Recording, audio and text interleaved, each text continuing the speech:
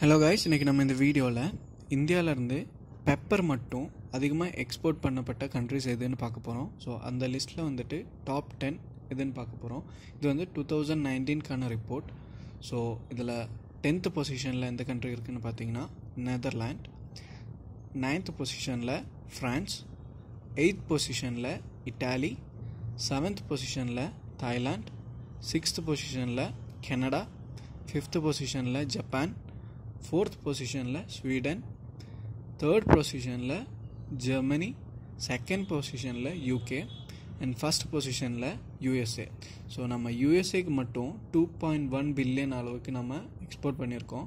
So பில்லியன்னா நூறு கோடி. ஸோ டூ பாயிண்ட் ஒன் பில்லியன்னா இரநூத்தி பத்து கோடி அளவுக்கு நம்ம எக்ஸ்போர்ட் பண்ணியிருக்கோம்.